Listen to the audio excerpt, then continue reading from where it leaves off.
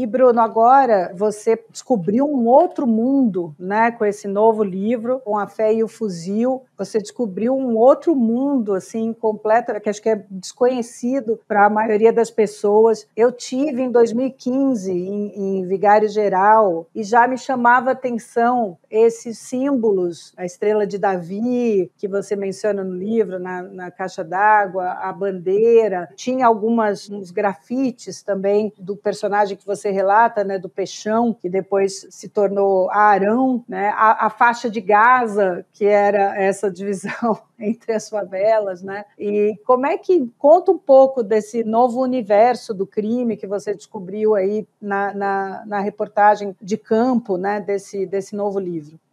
É, eu já acompanhava, Adri, isso há muito tempo, porque como eu tinha que entrevistar homicida, matador, traficante, como eu falava com eles sobre o crime que eles praticavam, é um assunto muito delicado que a gente tem uma dificuldade muito grande de entrar, né, e de ter confiança suficiente para eles contarem coisas que podem levá-los à prisão. Isso sempre foi um desafio eterno para mim fazendo esse trabalho.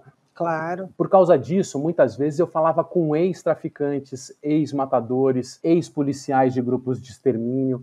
Esse era um caminho, porque a partir do momento que eles se convertiam, eles é, se sentiam à vontade para falar sobre o passado, porque a própria transformação era justificada né, pelo fato deles, antigamente, na vida anterior ao renascimento em Cristo, eles estarem sendo influenciados pelo diabo, eles estarem no caminho torto e a própria vida pregressa, né, violenta, de homicídios e crimes, quanto mais fosse é, maior era o milagre de Deus na vida e na transformação que eles vivenciaram. Então não existia muito tabu para falar sobre, esses, sobre isso. Né? Existia, claro, um pouco, mas também eles falavam já numa outra estrutura mental, né? numa nova forma de ver a vida, se sentindo renascidos na religião, né? na religião pentecostal quase sempre. Então eles falavam sobre aquele que havia morrido já, né? aquela pessoa que antes não estavam juntos de Deus. Tal. E eu sempre gostava demais dessas histórias, né? Porque eram histórias incríveis, né?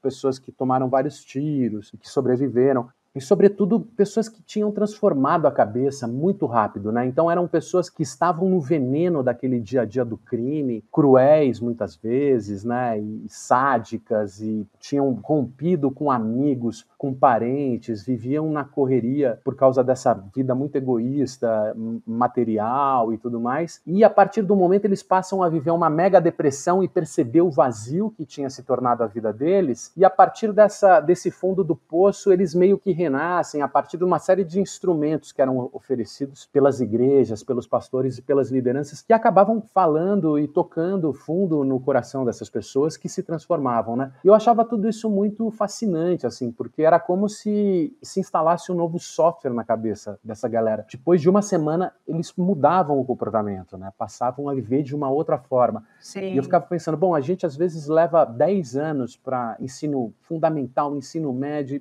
para a pessoa aprender e ser educada é uma batalha. E esses caras, eles a partir do momento que eles sofrem a metanoia, né, que eles chamam, que eles renascem em Cristo, eles mudam o comportamento em uma semana, é como se eles tivessem instalado um novo software. Para mim isso sempre foi fascinante e, e eu sempre gostei muito dessas histórias e vinha colecionando muito essas histórias.